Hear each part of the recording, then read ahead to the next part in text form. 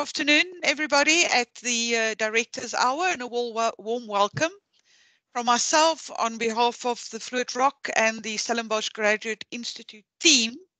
I'm fortunate to have Prof. Frick Landman, the CEO of SGI, and our own CEO, Ronel Klein, with me in the room today as well. And uh, looking forward to talking on a topic which to some extent may be you know, we we may be starting to feel that uh, we are, um, you know, overly discussing, and and it's maybe time to move on from some extent. But you know, I think the one thing we would all agree on is that COVID-19 and the impact thereof on our lives and at all levels should definitely not be underestimated.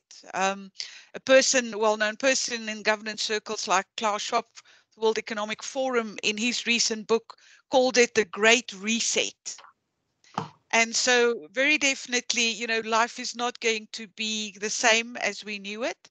And so, I do think that it is important that we take time out to really reflect and do a bit of also maybe post mortem is premature to use, but that we look at the lessons to learn and, you know, what the good is that we can take from this. In a, in a recent publication by board intelligence, the authors made the point that from a board perspective, there has been, in their view, there have been more gains than losses. So that in itself is already a good and a positive starting point. Now, not too long ago, the Governance Institute of Australia and the Australian Institute of Company Directors published a very uh, informative and value adding document called Governance Through a Crisis, also talking about the lessons that we can, can learn. We are very fortunate and blessed to, to have in the room with us uh, Catherine Maxwell, all the way from Sydney, and, and the fact that, you know, it's 8.30 in the evening in Sydney, um, Catherine makes it even more special for us and, and really appreciative that you're willing to talk to us today. Catherine is a lawyer herself, so Frick, you've got three legal eagles on the panel with you, but you were a strong baby, I'm told, so I'm quite sure you'll be able to manage that. Catherine is, has a very strong background in, in governance and policy matters. She has, in, in her career, spent considerable time in many strong institutions in Australia, the, the Prudential uh, Regulation Authority, also the Stock Exchange, the Corporate Governance Council, with the Institute of Directors, and also with the Financial Services Council. So I think, um, Catherine, you have worn very different hats as corporate lawyer and company secretary and governance professional as well. And uh, we're really looking forward to hearing from you a little bit about, you know, the, the key takeaways that that you found as part of the study that you done that you did and then Ronel and I also going to afterwards with Frick's input talk a little bit with you on how that relates to the South African environment. So without any further ado, Catherine, the floor is yours and thank you once again uh, for, for speaking to us today. That's okay. It's nice to it's nice to speak to some people from the southern from another part of the southern hemisphere today. So um, at least it's kind of end of the winter where you are. So thank you very much. I mean, that's a very, that's a great introduction. What I'll do is I've done a few slides and I will keep an eye on the time as well. I'll just start to share my screen. Here we go. Um, okay, so uh, last year with the Institute of Company Directors, we got together and we did um, a research project and we called it Learning from Governance Through a Crisis. So, so what we did was did um, the company directors did a survey and then some in-depth interviews and, and we conducted some roundtables and we just talked to people about how, how what their experience was um, from by then about four or five months of COVID 19. So it started in sort of March in um, Australia. And I think we did this work in kind of July, August. So we talked to them about a whole range of things. And I thought what I'd do is, is take you through the, some of the things that we learnt as a result of that, that research project, but also give you a little bit of context just about where we are in Australia at the moment. So we kind of got to the end of 2020 And I think things were beginning to open up um, and things were progressing. And I remember thinking to myself a few months ago, I was thinking, oh, okay, right, so things are, you know, getting back to normal. Unfortunately, um, sort of May or in June, the Delta strain emerged in Australia. So um, certainly in Sydney and in Melbourne, we're now locked down. I think I've been at home now for about, okay, in fact, I'm not counting the weeks because um, if I think about it, it bothers me. But if I don't think about it, it's fine. Um, and, you know, I'm very conscious that I'm in a pretty fortunate position. I've got a reasonable amount of room. The main irritants are my husband and um, grown up sons. Um, you know, things could be worse. I could be homeschooling. There's a, you know, there are a lot worse things that could be happening to me. And also in terms of overseas, I think, you know, we have not had the massive case numbers that you have seen in, in South Africa or in Europe or in, in other parts of the Asia Pacific Pacific region. So I think, you know, we've been relatively fortunate. Um, certainly our state governments and our, our government are quite concerned at the moment and we've got some for Australia quite high levels, and they've finally kind of started to get getting around to getting the um, vaccination program kicked along in Australia. But so we're kind of in the second wave, really. Um, and I've spent a lot of time in, in the last year sort of helping my members who are company secretaries, um, some directors and risk people um, get through trying to run large and small companies um, in a virtual world when there are a lot of things that you can't do. So what I thought, let's just move that slide. Okay, so how did companies respond? We did a risk management survey um, kind of about April last year. It's something we do annually.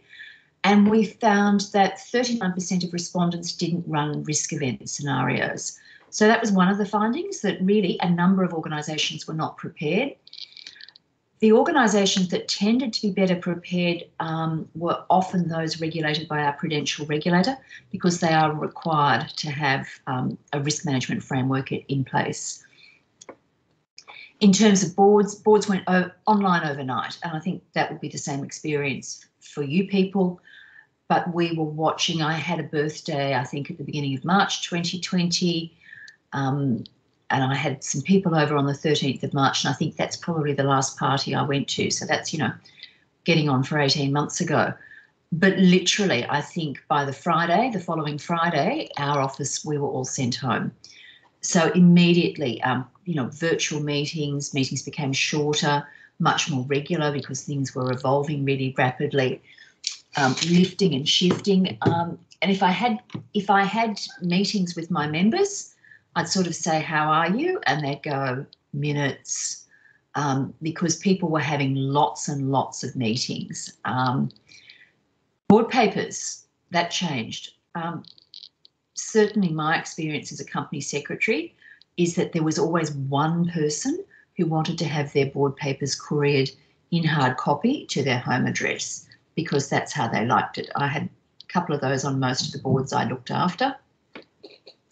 So I think if nothing else, um, 2020 saw the death of the hard copy board board pack um, in most sectors because you just couldn't do it.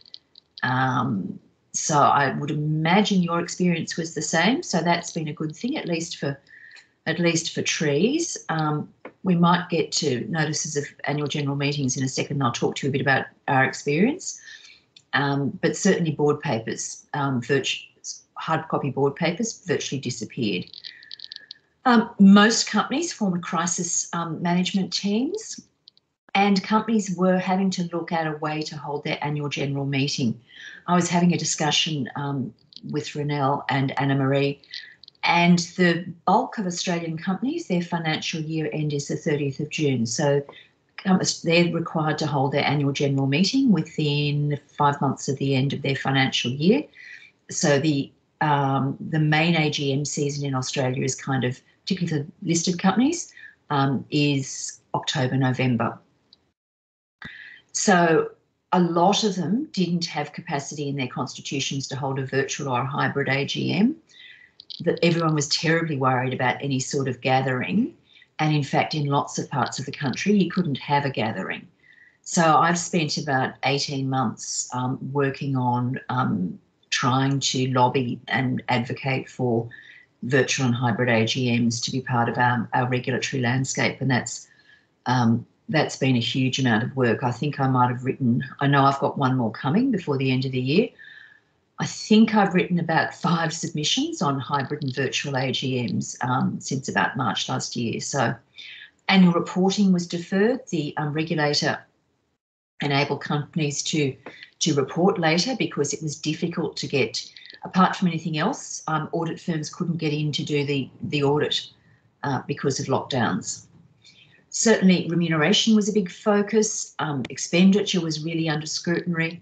And, and last year, pretty much you could say that variable pay was off the table. People were just not paying. I mean, some bonuses were paid, um, but by and large, variable pay was was off the table. One issue that we had was that the um, federal government um, had a thing called JobKeeper. So it was making payments to enable people to keep people on staff, um, to keep their jobs. And there were companies who accepted um, JobKeeper from the Commonwealth government, and but nonetheless for, um, ended up having quite good results. And so it's been a bit of a focus for some of the shareholder groups um, companies that have not paid back JobKeeper or that accepted JobKeeper and then sort of paid dividends or bonuses. So that's been been an issue um, in the last sort of six to twelve months. And certainly a lot of the, the discussion and, and the commentary, there was a big focus on well-being, employee well-being, um, and sharing the pain. I think that was a phrase that we heard um, quite a bit last year. And certainly at that stage, if I think about this time last year, um, the end was looking quite a quite a long way away, and at the moment, I think it's feeling like that again as as we get to sort of you know August and it's nearly September. I have no idea. Well, I, I kind of do, but it's it's extraordinary how fast this period has gone. Notwithstanding, none of us have been doing terribly much, or certainly nothing terribly interesting. Okay, so what were the things that we found? Well, I think we found that if you adaptation and agility were absolutely key. Um, so people had to adapt to the virtual boardroom. And there really is a new etiquette for engagement online. It's not necessarily easy, and you have to actually practice a bit to get it right. So I think that's one of the things. Um, the chair is absolutely vital, and the chairs had to develop new skills managing a meeting, um, making sure that people contributed, you don't aren't able to rely on the sort of physical cues that people give you um, when you're all in a group. Um, so you know, someone who learnt or developed the ability to chair an online meeting well became incredibly important. Although interestingly, I, I run four policy committees, um, and we've done that for years. And one of them, we typically have about 40 attendees, and for years we've done it by telephone conference well, we've moved to Zoom. And in fact, whilst a lot of people are sort of bemoaning being online, none that we're finding with that particular meeting that because we've moved from telephone to Zoom, people have really enjoyed seeing each other. It's like, oh my goodness, I've been talking to you for some years and that's what you look like. And I've actually found in that particular group, the level of engagement has actually increased. And I'm I'm sort of getting a lot more a lot more people attending, I think, because they're really keen to see each other but I think for boards and committees, I think they really have felt that physical absence and found it much more difficult. Time zones have been a problem, particularly if you've got a global board. I think that's been a real issue. One of my members was saying they were sort of they used to do two full days, so then what they've you know they would then split them out over three, and you know they were sort of sharing the pain depending on the time zone. So you know one one end of the time zone, Europe would take it in turns to start at, they'd take it in turns to start at 5 a.m. or at 5 p.m. just to try and get through the meetings. So that was a, re- a real challenge. And people get tired on Zoom. Um, I think that's the other thing. I think everyone's found it's surprising how tired you get sitting staring at a screen. As a complete aside, nonetheless, we are all expecting our children. Um, if you're homeschooling, all these poor kids are online all day.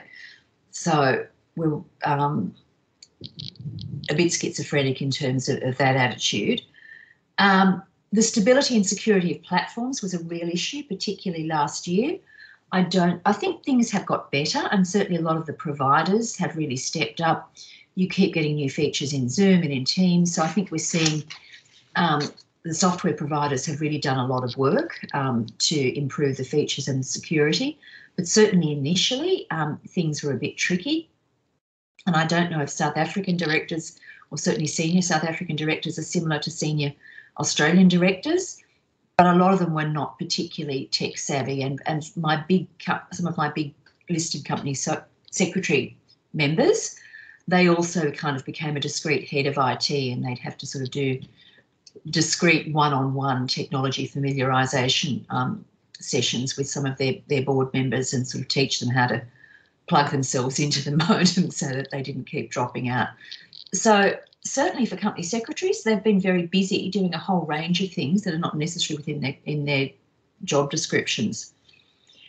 But there were some benefits, I think. I mean, there were challenges, but there were benefits. It was much more easy to get a meeting with directors. You know, they weren't on planes all the time, they weren't travelling massively, so that you could actually get hold of them um, to, to get things done at, you know, reasonably short notice, which was a real benefit, particularly when things were moving rapidly.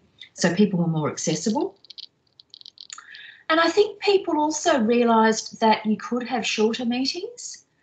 And I think a lot of companies are now thinking about the cadence of their meetings. You know, do we need to have these long meetings um, or quite as many of them? So I think that's that's a change that's going to happen. And I mean, obviously, we're in sort of stage, we're in sort of wave two, so things are still in a bit of a state of flux. But I wouldn't be surprised to see that a number of companies, even big ones, move to a different kind of you know, one in two meetings are physical. You know, can you, given that we've all operated like this for the best part of two years, can you still justify the expense and time of flying people all over the country? Um, not to mention, I think the other thing is that, you know, people had to make decisions in a really agile way. Um, and there was obviously um, had to be good board and management relations. I think communication was really important, and lots of people found that the chair and CEO were talking quite a lot. And certainly one member said to me that their, their chair really took it upon themselves. They had meetings every day, right at the height of things. So they had a sort of every day, daily meeting with all the senior executive team. And then the chair took it upon themselves to to communicate that to the board rather than having to go the sort of the CEO to go around to each of the directors. The chair acted as the communication point, which meant that the CEO could actually get on with the day and get on with um, you know trying to get to get thing keep things going. Some directors said that they found it a bit more difficult to get access to management, um, and certainly you know company secretaries. Most of my members reported being incredibly busy. Um, sorting out technology, making sure everyone was getting informed. Um, one of the challenges they had was that typically your board papers go out a week before. Um, by the time you got to the meeting, a lot of that information was out of date. So it was trying to make sure that directors had, you know, up to date information. So the packs would go out, but there'd be a short paper um, the day before with the latest information. So that was a real challenge. Lots of regulatory developments, So, so staying on top of all of that, um, planning, you know, particularly for the large companies, the board calendar is set a couple of years in advance. So having to sort of pick that all up and reconfigure it. Um, so lots of logistical challenges. And then just doing, and, and again, lots and lots of minutes. Um, you know, if you're having lots of minute meetings, you need lots of minutes. And of course, one of the challenges if if you weren't having large board packs, you actually had to make sure that things were well minuted. Um, so that was, you know, you know, they didn't just have to be lots of them. Um, not that my members would do bad minutes, but they would have to be quite considered. And I, I always thought I was a bit of a slow minute taker until one of my very senior members said to me, No, no, no, I've got to block out a couple of days. And they reckon that it takes them two or three times as long as the meeting to actually minute it. And I thought, okay, well, I'm not that slow. So that was that actually made me feel a bit better. Um, but yeah, so you know that's that's quite a big task, and it's not something that you can actually delegate to just anybody to get it right, particularly for a large company. Um, takes a lot of time and a lot of skill. In fact, if we ever do anything on minutes, uh, it's usually a sellout with our members. Um, you know, because it's and I, I, gather the same across the world. Anything you do on minutes and around company secretaries, they're always interested. Uh, right, let's just move to the next slide. I think the other thing that really emerged that you had to have the right scaffolding in place. It's really critical. No point trying to make it up on the spot. You actually had to have um, plans in place. And those companies that did better had existing crisis management and business continuity plans. And as I said, quite often they were in the financial services sector because they're required to under the prudential standards. So they were the companies that tended to find things were a bit better and a bit easier for them. Um, risk management, I think also that people really, the people that struggled also really didn't have a proper risk management framework. So, and the importance of good risk management framework and having the right structures in place. That really was important. Um, the other thing was, and one of the members said this to me, that they felt boards in general don't look at strategic risk particularly well or particularly often unless they're being pushed into it, say by a regulator. And they felt that was something that boards need to really start thinking thinking about. Even um, you know, it doesn't often get in their experience, it didn't get talked about even at sort of the annual strategy day. And I thought, oh, that's that's actually quite an interesting comment. Um, so, however, um, particularly in the sort of not-for-profit sector, but not necessarily confined to the not-for-profit sector, technology for a lot of companies gave them the ability to engage with a whole lot of stakeholders that they wouldn't normally be able to reach. Um, I think if you read the report governing through a crisis, um, one company reports that they were able to have a meeting with about 300 people present, which went really well. I think it was one of the AIDS charities or one of the AIDS groups, and they said they had this 300 stakeholder meeting, which was not something they could typically do, and they found some real benefits from it. And certainly, I've talked to um, people, sort of membership groups, where they found technology enabled them to all their members to come to meetings and be part of things where normally you know due to cost they might not travel in for the annual meeting but this way they were able to do it and certainly some of the larger listed companies have actually been reporting increased numbers of attendees um, I was talking to Ronel and Anne Marie yesterday and saying, was it yesterday? I actually can't remember, I've lost track. Um, but one of the big issues in Australia has been um, some of the investor groups are very much opposed to virtual meetings, and they were saying to me that virtual meetings are actually not considered a problem in South Africa. And certainly, I've spent a lot of time sort of battling to try and get them through in the legislation in the in the last 18 months. So, but companies um, for this AGM season, they're going to be forced to do it again because it, you know everyone's in lockdown. And then just to finish off, I thought I might do um, women on boards in Australia. I don't know whether you have an equivalent in South Africa, but I would imagine you might. They did a, a snap survey about 10 days ago, and the results came out last week. So I just thought I would talk to you about um, what the results of that survey said. So it's a second COVID year. They're coping just, um, the people who responded to their survey. So six and a half out of 10. Um, so they're managing, but you know things are wearing a bit thin. In terms of the main issues that they report, so you know, eight, almost eighty percent lack of face-to-face meetings. That's really bothering people.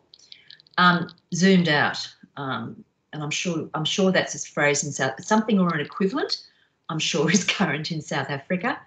Everyone's a bit over Zoom, although my, as I said, my members who used to meet by telephone likes like Zoom. So um, lower staff morale, certainly, and they report feeling professionally lonely. And I think that's probably true too. I certainly, um, and one good thing, if you've got any sort of exercise regime and you eat properly, that does seem to have correlated with a higher coping rating. So if you're doing those things, keep, keep doing them because it means you're going to cope better.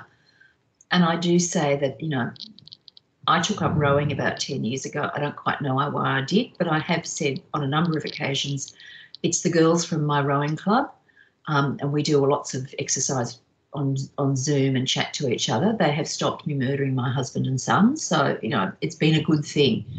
And I think, yeah, look, I think my personal experience is if you've got to, if you do some exercise, um, it does help. But I thought that was very interesting that it was re- reported in that survey. And then just I thought you'd they had a few statistics and a few bit of feedback about boards, which I thought you might be interested in. So this is my last slide. Oh no, my second last slide. So 72 of the respondents sit on a board, um, all female, women on boards, not surprising. Um, age between 45 and 65. Um, about half their time is spent on board, um, their boards or committees. This Women on Boards is a group that try and help women to get board positions, and about half of them said, you know what, they're just not feeling it at the moment. They're just not feeling, you know, they're not feeling as though they're sort of making progress on, on getting themselves to where they want to be. They're trying to keep their networks going, but I think they're finding it hard. And a quarter of them um, think that remote board meetings are having a somewhat negative impact on decision making and relationships. So just thought that was a bit of interesting feedback in a second COVID year um, when a lot of people, particularly um, most of the people in who responded to that survey, were in the two states that are currently subject to lockdown. So that's kind of how people are feeling. And I just included, um, so I just included a few quotes from there that I'm sure they'll distribute the slides. But I quite like that one hybrid working, and I meant to say this earlier hybrid working will enable more diversity on boards if the old fashioned chairs allow it. And I think that's true. You know, if you if you are using technology, it is going to make people who might not be able to participate um, able to participate. So I think that's definitely something that um, is worth thinking about. And then I thought we'd just finish with I don't have the answers here, but I just highlighted a few things that you know we probably need to think about for the future. So board skills and composition, you know, do you have the right people on the board? Is your composition what you need? I don't know about South Africa, but um, most boards are hysterical about cybersecurity at the moment, um, and certainly doing everything online in the last 18 months has, you know, most companies have been subject to some sort of cyber attack. And if you talk to some of the companies, you know, it's, it's just daily. There are not a lot of Australian directors with with the sort of skills you need um, to be on top of all of that. So I think that, you know, have you got the right skills for what you need, um, particularly as things are changing? What are the board agendas like? You know, is what we've always done the way we should do it in the future? Are we reporting adequately? Does information flow well? Certainly, one company was talking to us recently about the fact that they've really just a lot of things are now done by circular resolution, routine things and board board time is taken up with the really sort of big ticket items. Strategy. How are you going to do strategy in the future? Um, will you do it sort of, you know, the usual strategy day? Risk management, workforce planning. I think that's another real issue. Um, and the workforce is changing. And it will be interesting to see what impact, certainly, I think, in terms of workforce, the impact the toughest impact has been on younger people, um, you know, particularly in insecure employment. So a lot of that is going to, you know, that's going to, how is all that going to come out in the wash? And then I suppose compliance obligations, you know, how are you keeping on top of your compliance obligations and how are you monitoring things? And that's more difficult remotely. You know, how are your systems standing up? So that's probably enough from me. But look, you know, love to have a chat with Ronel and Anna Marie about anything that they'd like to um, tease out from from that, and I'll see what I can do about stopping sharing my screen. Thanks, thanks for that, Catherine. Thanks for that insight. It's really interesting, and I think quite a number of things that resonates with us um, you could probably see my head going like this on a number of, of occasions, you know. Um, I I absolutely believe, you know, and and Ronel must come on here as well to chat with us. But I I really passionately, strongly believe that this is is one crisis that we must really make the best of from a board functioning perspective. And that you know it's really a transformational opportunity. The question is whether boards are going to are we ready really to to take that? And i think your point on agility um, comes out quite strongly because I think that's often a, um, an underestimated sort of value in in the boardroom as well. Um, for me, the question, and I would love to hear your view on this. Do you think this has made boards and maybe the answer is not that simple, but you can give, let me tell me what you think. Do you think this has made boards generally more or less effective? This whole new paradigm that we have.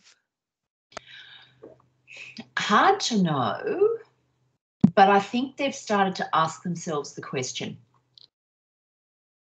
in a different in a way that they might not have done traditionally and i think they're starting to think about effectiveness in a different way because they've been forced to learn a whole lot of new things really fast and do a whole lot of things that they haven't done before. Um, so I think they are starting to think about, and certainly the fact that they're even thinking about, um, you know, the member who was talking about how they're doing their whole agendas differently. You know, one of our large, one of our large banks. So you know, a very large traditional organization is now going, well, you know what, um, what, um, you know, how do our meetings work? You know, this could, we could do this better. And they're getting really good, feedback. the company secretary said she's getting amazing feedback um, that, you know, things are working so much better.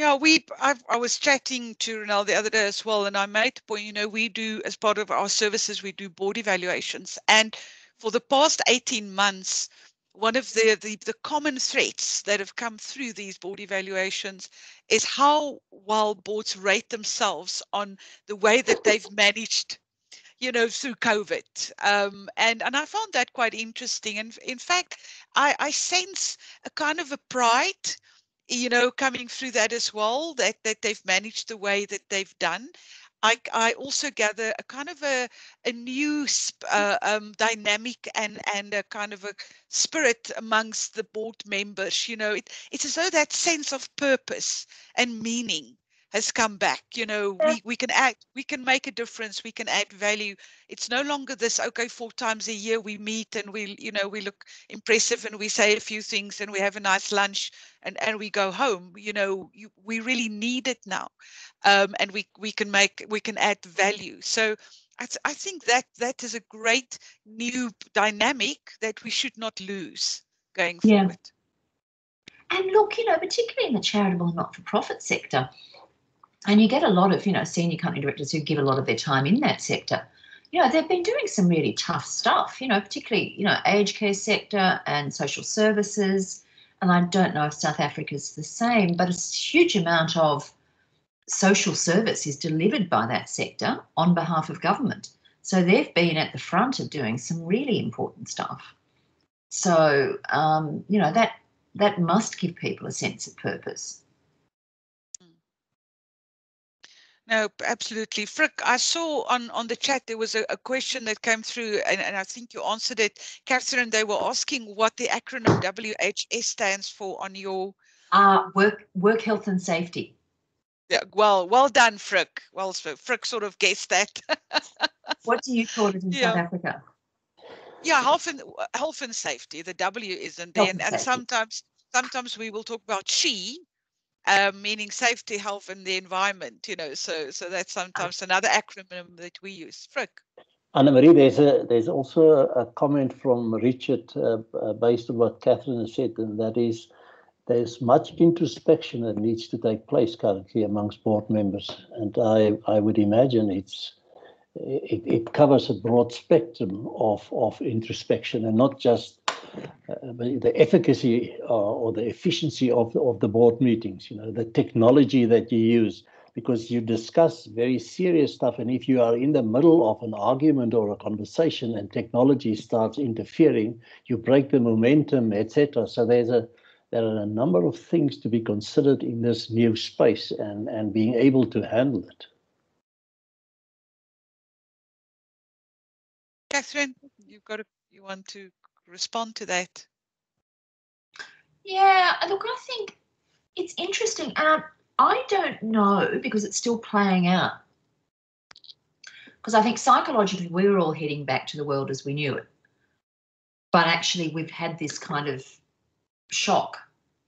So I don't know how that's going to play out. I think people have certainly, I mean, it's last year where people were, you know, there was lots of there were lots of people baking sourdough, which is a very Sydney kind of thing to do. Um, much less of that this year. You know, people are tired, people are worn out, people are afraid. Um, and I think, yeah, I think people are tired. It was interesting. I was having a discussion with my husband last night, and I was sort of talking about, you know, younger people, I suppose, between say 18 and 30, and, and just the impact that this has had on them, and you know, kids at school. And he said, well, this is kind of like the Second World War. It's that sort of experience. If you if you talk to that generation, and I was thinking about it, and I was sort of thinking about it this morning, and I thought, well, yeah, and you know, particularly if you were in Europe, that went on for years, like a number of years. So it's that kind of, you know, I think people are sort of people are tired. And as I said, Australia hasn't had it too badly comparatively. Yeah, and if I listen to what Anna Marie is, uh, is saying, uh, Catherine, uh, she said in the beginning uh, the kind of the reset button that has been pushed, and you, your comment now about psychologically we're thinking we're going back to the old world, which I don't think is a reality. We there's a new world awaiting this Hmm. space. And I Janelle, don't think we want- quite Sorry, Catherine. Continue.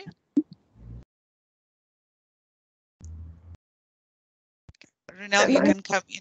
Yes, Anna Marie, if, um, if I can come in, thanks for that, uh, Catherine. So, I mean, two of the things that I find uh, that we need to take forward in a very practical way is I am suggesting to boards that they write an annexure on the code of conduct on being on board meetings. So you get two types of people, right? You get people with camera on and camera off. Those are the two personality types of the digital work.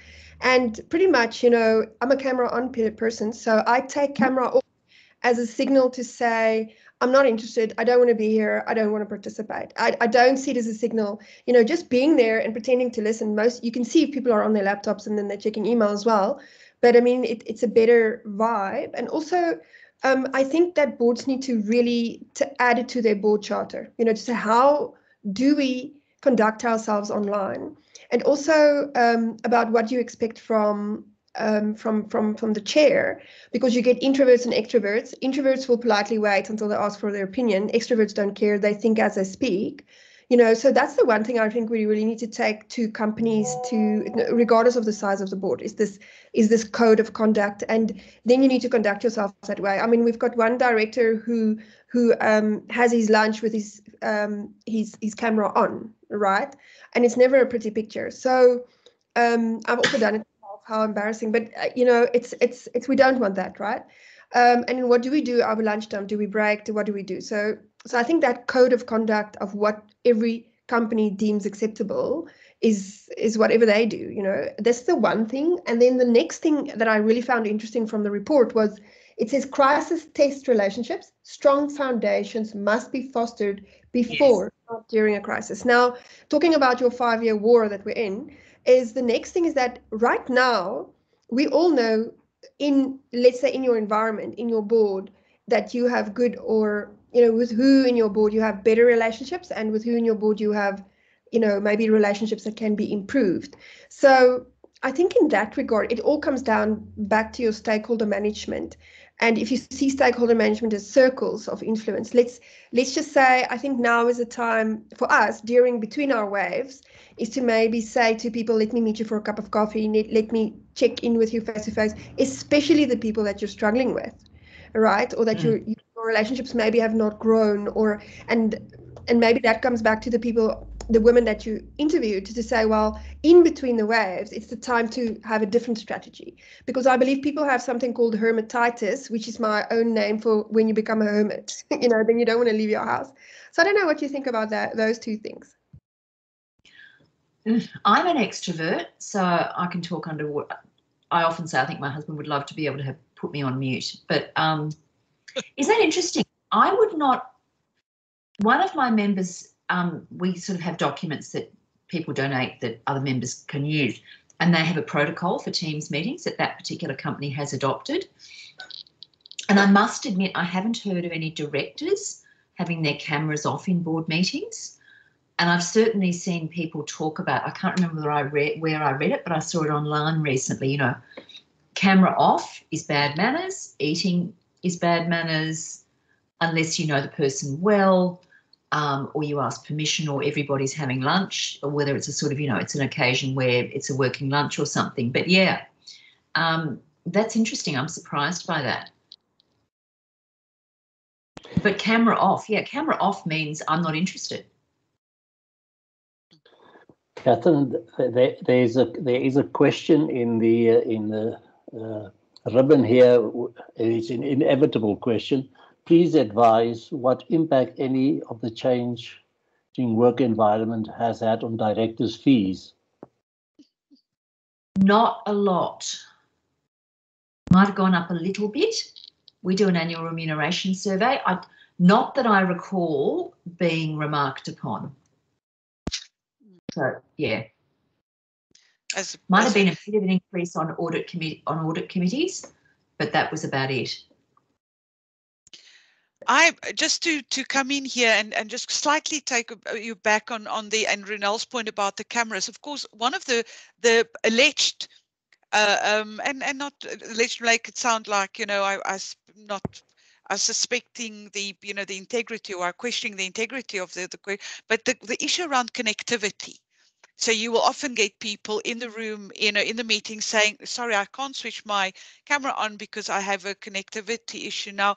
I've recently spent two months in the netherlands and i've seen the quality of good connectivity versus what we do experience in south africa.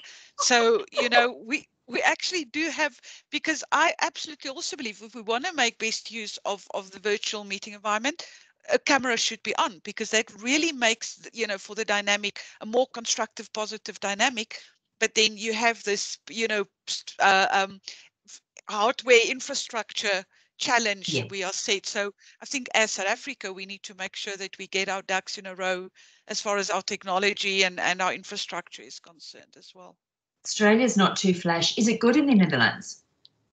Yes. No, it was very good. Absolutely. Um, very strong. Australia's a bit Australia's a bit patchy too.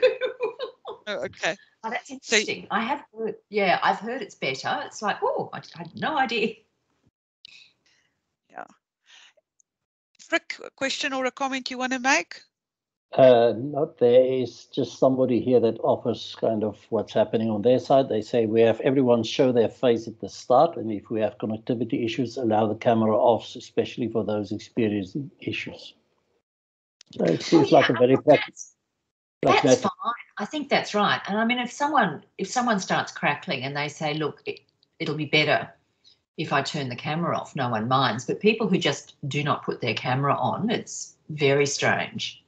I do find it a bit with government meetings. If you're having like a big meeting with government and there are sort of more junior staff members, you'll often find that you just get the little the little disc on the side. But yeah, I find it disconcerting if you can't see people.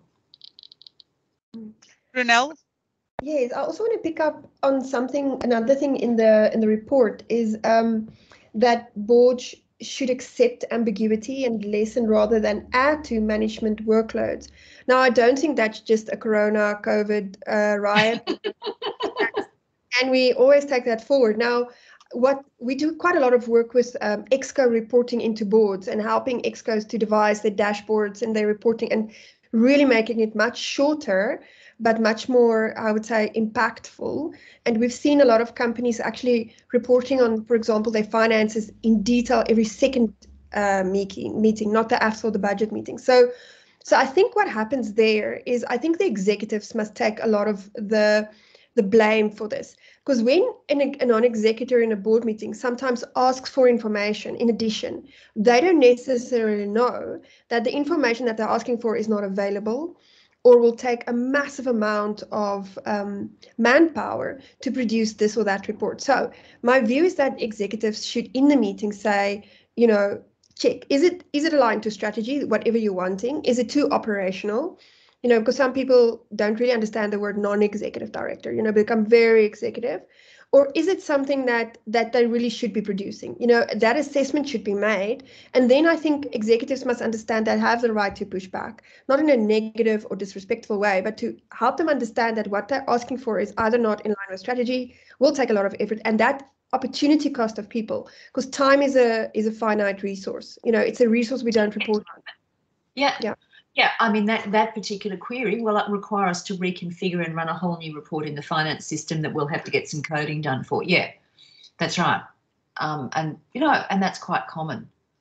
Um, and you do, having worked in a lot of sectors and with a lot of with a lot of management teams, you do hear over and over and you hear, I just wish the board would stay out of management and get into strategy.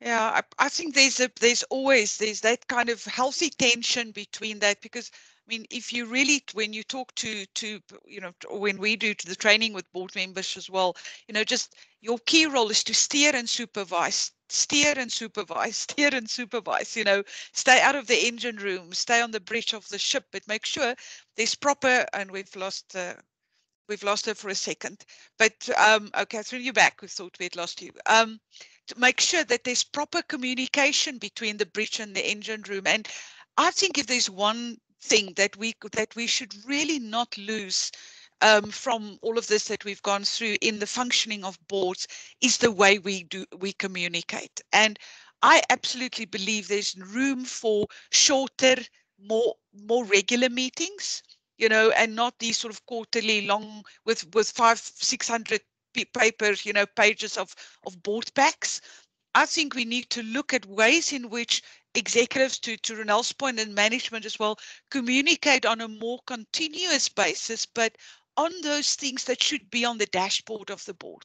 So to avoid that potential risk of them stepping, overstepping the boundary, but also that there's in between meetings, you know, on key significant kind of strategic matters, there's a, a, short update coming from, for example, the CEO's office, so that the time when we get together in the room again, we are already all on the same page as to what has happened since the previous discussion, and we can give our input and we can move forward. So I really believe, you know, we there's part of, of the the introspection that we need to do and the and and the opportunity we must take here as each and every board is to have this conversation, not assume that we're all on the same page but have a conversation about what's working, what's not working, you know, for for moving if you know as we move forward as well. So that you know, in in at the end of the day, we may end up with a kind of a hybrid of in you know in-person meetings again.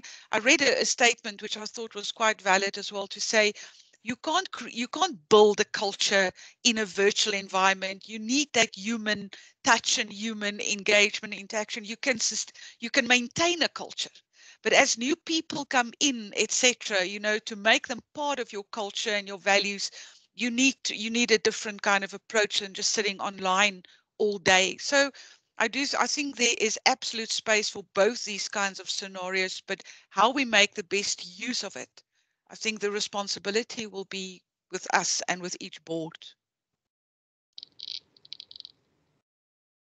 I, was I was one hmm. sorry, Anna I was wondering uh, based on what you are saying in this in this uh, introspection and what Catherine has said previously uh, from the report that the, the chairs are now speaking more frequently with the CEO and uh, and act as the as the communication portal to the rest of the board.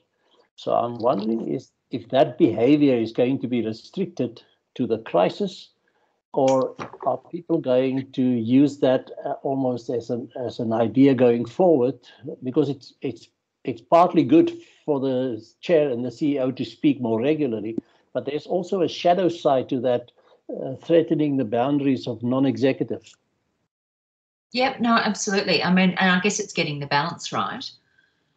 Um and i think certainly last year there was a real sense in which a lot of directors were like, we need to know this information, and then we've got to get out of get out of your way. Let you get on with it. You know, let you supply toilet paper, or you know, um, for example, in term there was a toilet paper shortage in Australia. That was one of the big dramas that we, we went through. I don't know whether you had that in South Africa, but toilet paper for some reason. yeah, so we know. know.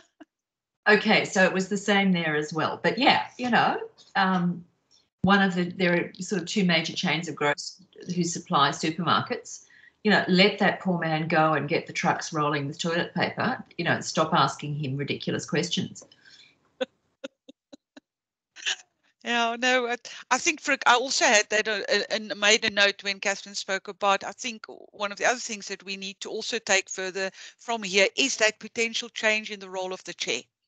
You know, yeah. uh, um, you know, and, and, I think it's there's some valuable lessons to be learned for chairs from yeah. from this as well. Also, the discipline that they bring in um, to to Ronel's point around, you know, the the the protocols you know, and and the way I think uh, the chair chair plays an extremely important, um, you know, part of making sure that the best use, eh, you know, the best we make the best use of the virtual, the platforms, and the virtual meetings.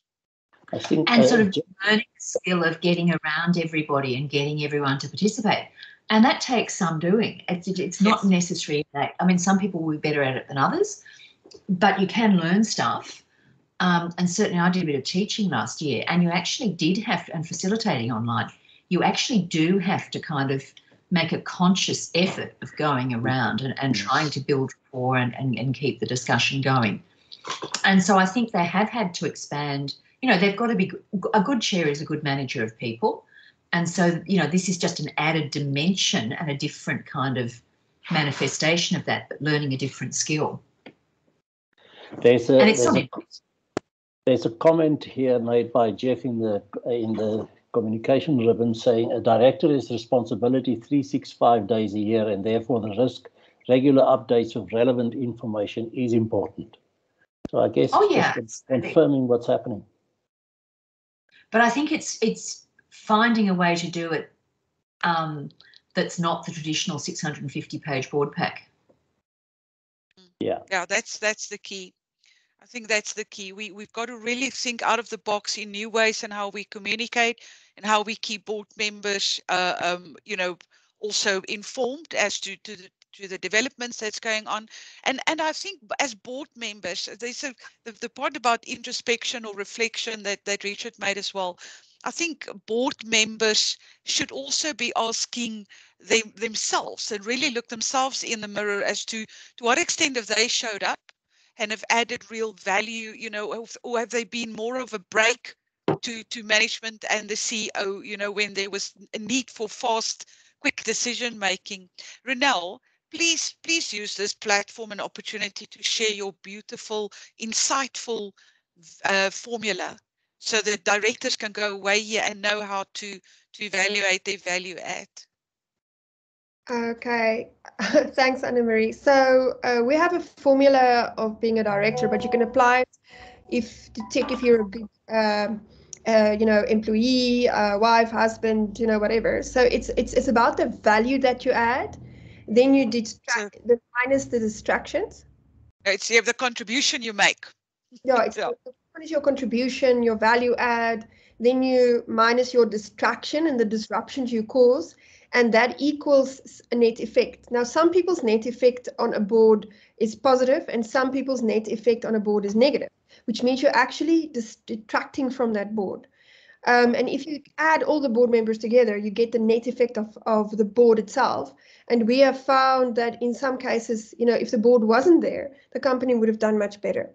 And um, we're saying this a little bit tongue in the cheek, but and I um, I always joke um, about you know you really can apply it to your spouse as well you know to see how they've been doing for for the month for example but yeah thank you no that's a frick we we starting catherine we're going to start wrapping up as well i think um, I'm going to ask you for some closing remarks and then Frick can wrap up for us. But from my perspective, I think if I can leave a few last uh, um, comments that, you know, it, this is really my my encouragement and my plea will be with people on the call as well and those in positions of leadership and influence is don't waste this opportunity to really, to, uh, you know, to over to turn over every little rock and thing in your in your practices in your functioning you know and and take the good from this because there definitely are a number of gains so that we do come up with i mean you know what is concerning to me and and catherine i think there we found the same in south africa your point about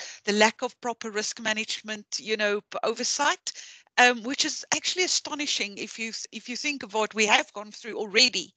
It really it really is a is a, a one of the crosses against boards you know if at this point in time they are still found with their pants you know around their their ankles when when the crisis hits so there are some i think we we've got a few things that we can't be too proud of and we really should use this opportunity to come out of mm. here more agile stronger more effective to make the contribution to that Ronel is talking about that positive contribution as an individual and as a team but thanks. I'd love to hear from from a few closing remarks from your side.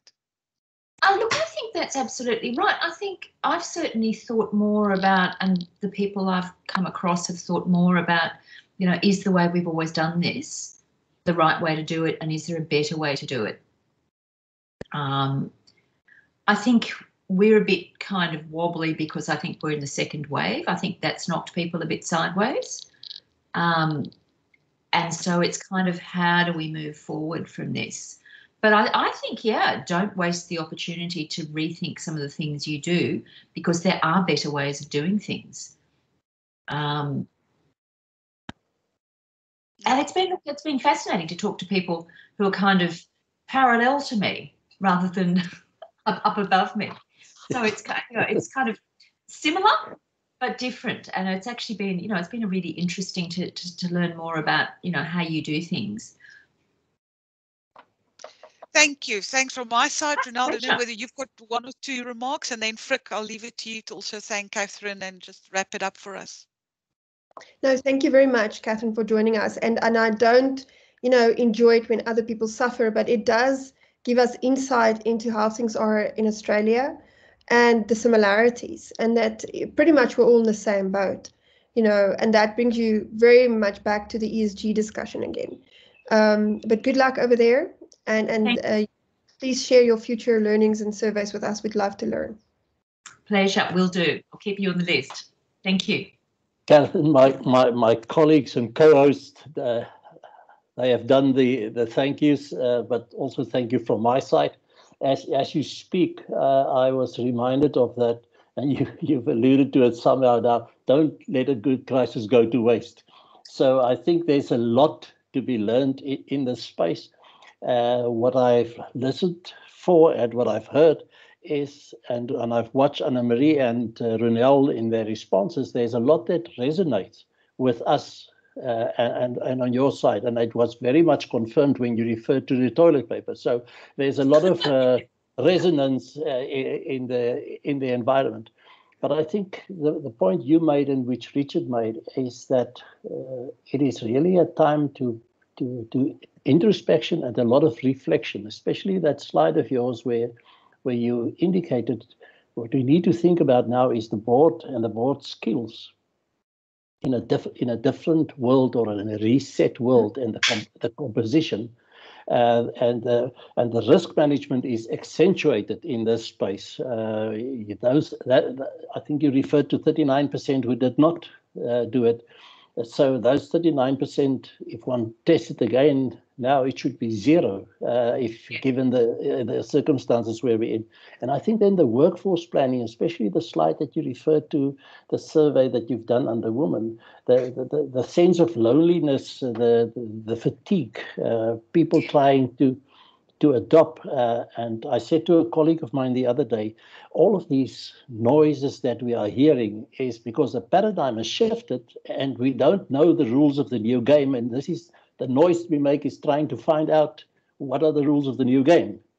And uh, I think you've given us some comfort that we are not alone in this, but you've also strengthened the idea of we have to reflect and learn from each other. And thank you so much for that. It's my pleasure. I Have just a nice weekend. To, day after tomorrow. I just want to leave our thank our, our audience for their attendance. Uh, I see some of them have, have left us. Uh, that's to their own detriment. Uh, and uh, I want to kind of indicate that a possible subject in our next session would be around vac the vaccination policy uh, and how does one handle that? I've seen from the legal environment there's some cautionary notes coming uh, stay away from a mandatory kind of policy and there's conversation and em em employment and and labor has to find one have to find one another. So uh, it we think that is a valuable uh, subject to talk about and we will keep you informed uh, when we are going to address that and with whom. But thank you to you all. Thank Live you thank you Frank. Here too. Thank you. Thank you, Catherine. It's great to have a new Australian friend and we hope to speak to you again. Thank you, everybody that joined us today for a good session. We look forward to hosting you in, in September. Thank you so much. Have a good day. Good night. bye bye